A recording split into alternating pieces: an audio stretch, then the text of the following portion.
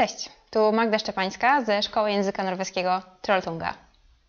Na pewno nieraz znaleźliście się w takiej sytuacji, w której zapadła niezręczna cisza, bo osoba, z którą przebywacie, na przykład w jednym pomieszczeniu albo stoicie w tej samej kolejce w sklepie, jest Wam nie do końca znana. Więc jak tutaj zagaić, rozpocząć rozmowę? Dzisiaj będziemy mówić o small talk z angielskiego albo small prat lub small snock z norweskiego. Zapraszam.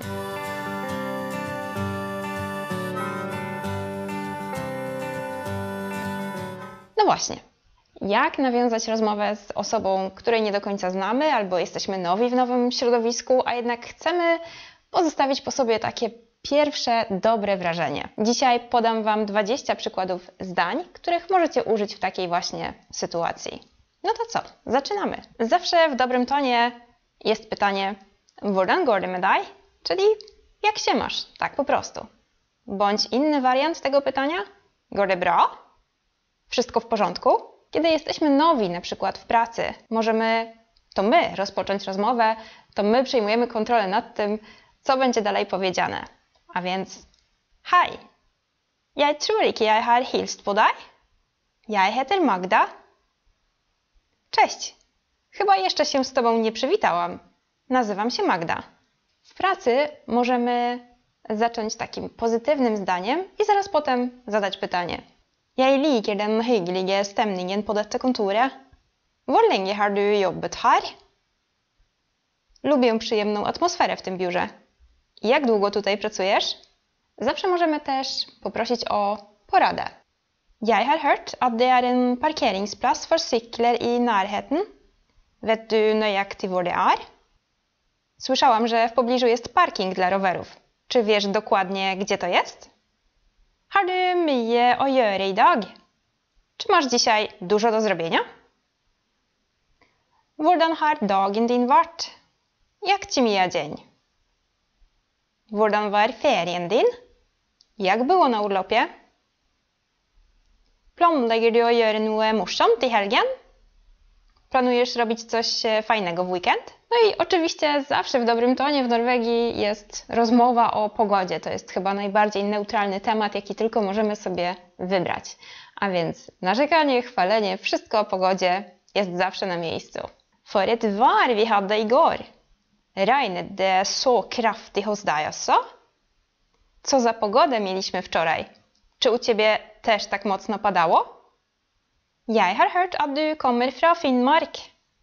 Er det sant at vinteren der er lang og veldig kald? Słyszałam, że pochodzisz z Finnmarku. Czy to prawda, że zima jest tam długa i bardzo mroźna? Ewentualnie, jeśli znajdujemy się w nowym miejscu, możemy zapytać: Er dette din første gang i Warszawa? Czy to twój pierwszy raz w Warszawie? Oczywiście tę Warszawę możemy zmienić na cokolwiek innego. Dette din første gang i Oslo? Dette din første gang i Gdańsk, for eksempel? Jeg har aldri vært her før. Har du? Nigdy wcześniej tu nie byłam. A ty? Hva syns du om dette stedet? Co sądzisz o tym miejscu? Zawsze też możemy odwołać się do wydarzeń aktualnych na świecie, bądź rzeczy, które dotyczą bezpośrednio Norwegii, bądź jakichś zdarzeń kulturowych. Så du nyhetene i går? Syns du om... Widziałeś wczorajsze wiadomości? Co sądzisz o... I tutaj dodajemy tę wiadomość. Har du sett noen fine serier på Netflix i det siste? Kunne du kanskje anbefale meg noe? Czy widziałeś ostatnio jakieś fajne seriale na Netflixie? Czy może mógłbyś mi coś polecić? Jeg har akkurat lest en spennende bok om konspirasjonsteorier. Du har kanskje hørt om den? Właśnie przeczytałam świetną książkę o teoriach spiskowych. Być może słyszałeś o niej. Så du kampen mellom Sverige og Norge i går kveld? Widziałeś wczorajszy mecz pomiędzy Szwecją a Norwegią? No i oczywiście innym tematem, który zawsze jest w dobrym tonie, to jedzenie. O jedzeniu wszyscy, chyba wszyscy lubią rozmawiać. Er du glad i å mat? Har du funnet noen spennende restauranter i det siste? Czy lubisz gotować? Znalazłeś ostatnio jakieś fajne restauracje? No i dobrze jest też się miło pożegnać i podziękować za rozmowę. Tack för praten.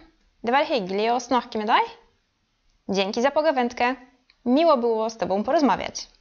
Mam nadzieję, że od dzisiaj doskonale poradzicie sobie z każdym små snack albo små prat i komunikacja z Norwegami nie będzie miała dla Was żadnych tajemnic. A jeżeli potrzebujecie nadal szlifować swój norweski i rozwijać swoje umiejętności, to zapraszamy do nas na kursy indywidualne w Trolltunga. Całą ofertę znajdziecie na naszej stronie internetowej. Link do strony oraz kontakt znajdziecie w opisie tego odcinka. Tymczasem dzięki za obejrzenie i widzimy się już za tydzień. Cześć!